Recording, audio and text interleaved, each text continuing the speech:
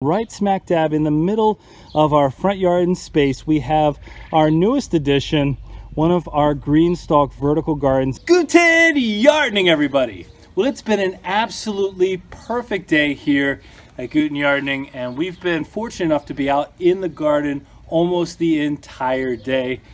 The flowers are blooming. It's just absolutely perfect here in Zone 5, Wisconsin.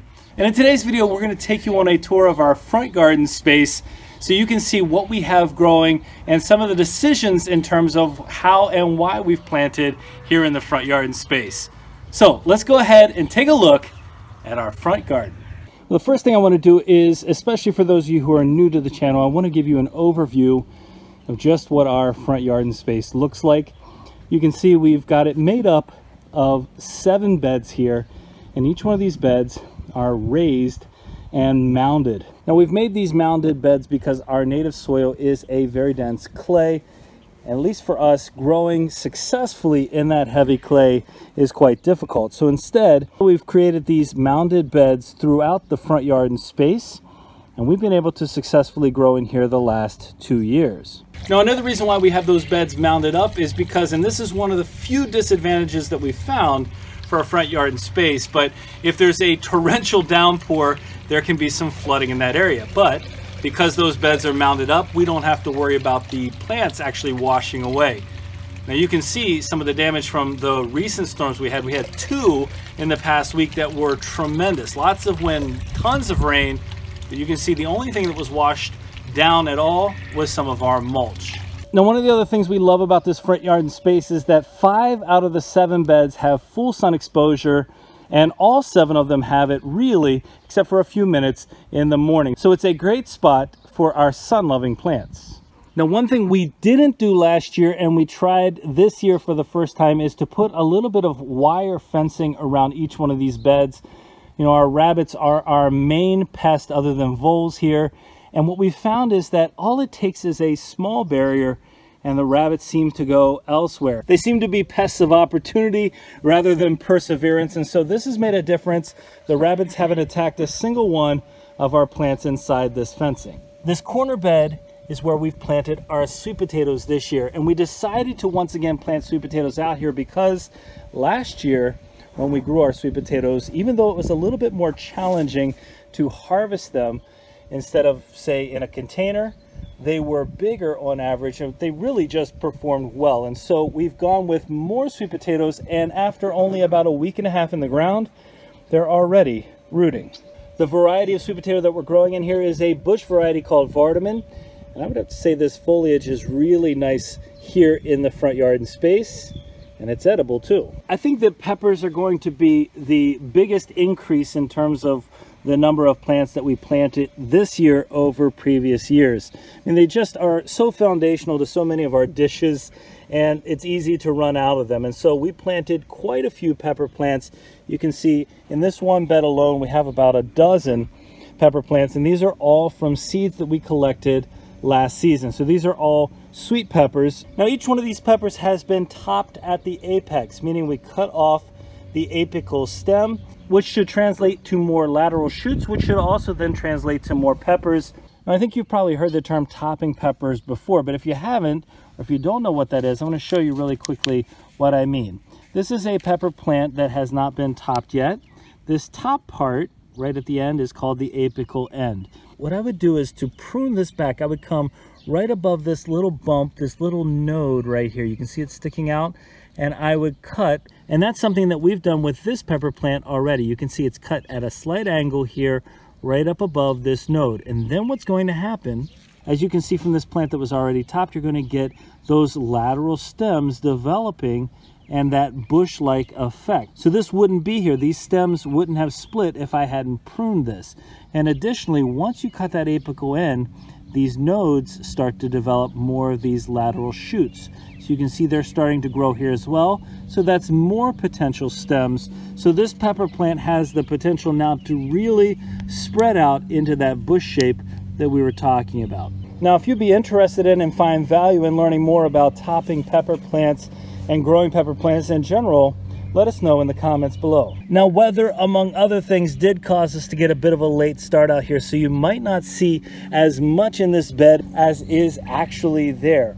We've got our snow crown cauliflower, which has a maturation of only two months, less than two months, 50 to 55 days, grown in full sun.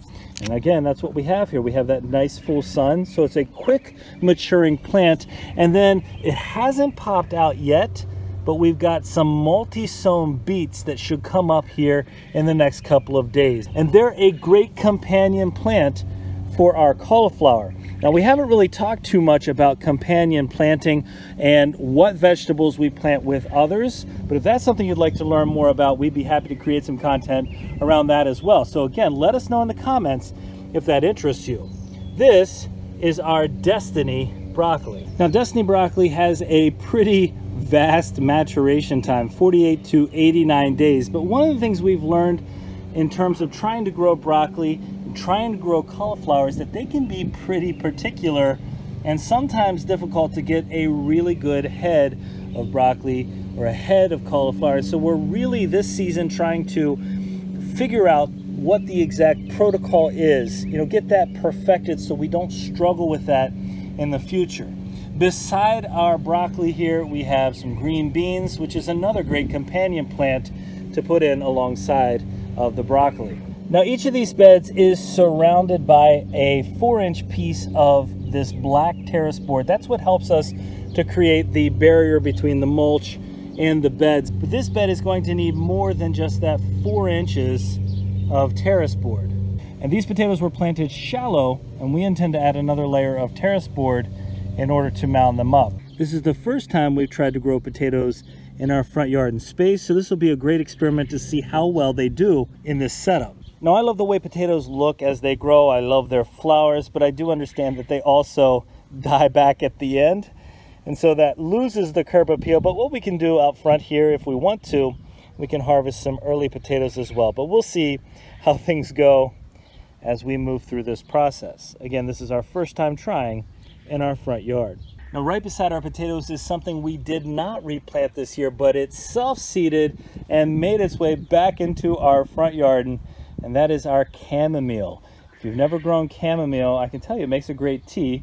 It has a lot of health benefits, and it's another one of those good companion plants. But one thing's for sure, it has the potential to self-seed and come back, and come back in quite a few spots. At least that's been our experience. And just popping out in this bed, it looks like we're gonna need to replant a few of these, but we've got our okra. This is a dwarf okra coming up. This dwarf okra grows really nicely up here in the north. Again, we're in zone five.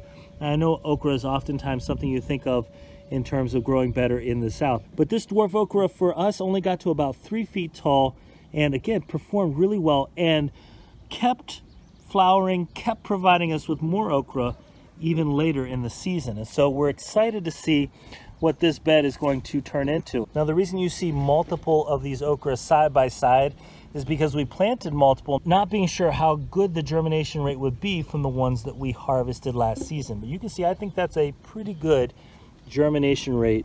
Now this last bed happens to be our longest bed, but it's also not fully planted yet. Now that being said, this is a tomato bed so far. We have five tomato plants, each one a different variety, and I'll get to that in a second, growing right down the middle of this bed. But we've also got a whole bunch of volunteer tomatoes over here on the side.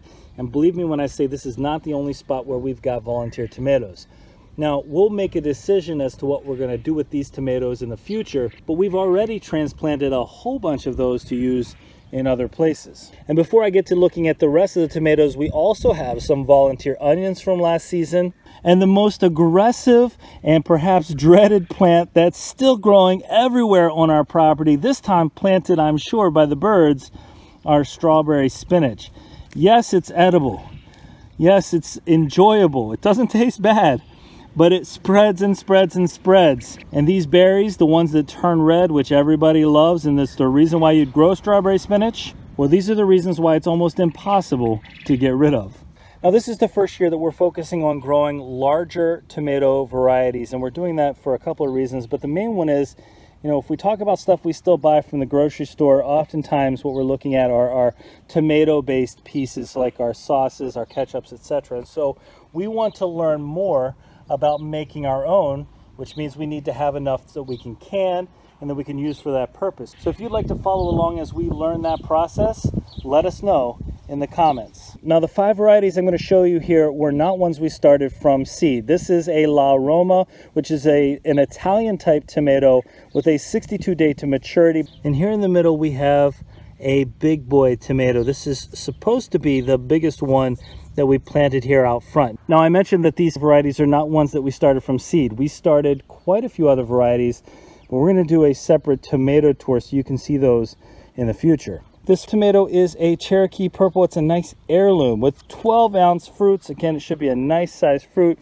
With all of these, we're going to attempt to do a single stem. Now, we've never really tried to grow the larger variety, so we've never grown tomatoes as single stem. But what we want to do is to make room for more tomato plants in here by doing that. But we'll see what that does to our production once we try to grow them in that fashion. Now we will have to trellis all these other tomatoes, but this cherry tomato, which is a Sweet 100 cherry, and we have grown Sweet 100 cherries before, we've got this in a cage already because it's the only cherry tomato that we have growing up here, and we're not going to be growing this as a single stem. But in a future video, we'll show you what we come up with for the trellising for these and what growing as a single stem looks like.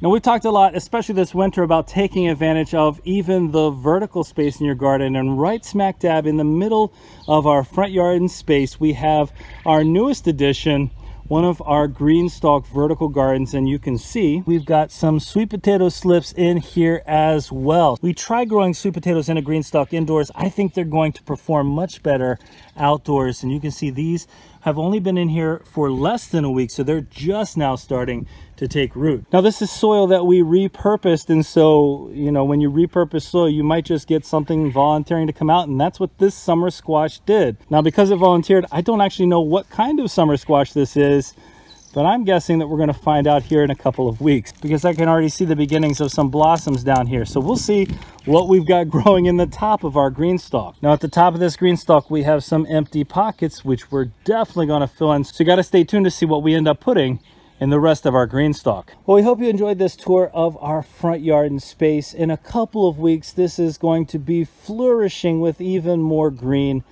And I'm super excited to take you along on that journey. We hope you enjoyed today's video and found it useful. If there's something you'd like to learn more about from today's video, or if there's a topic you have in mind that we haven't talked about on our channel, let us know in the comments below. If you did enjoy today's video, don't forget to give us a like, leave us a comment, remember to share and subscribe, and most importantly, remember, when you're with us, you are good to grow.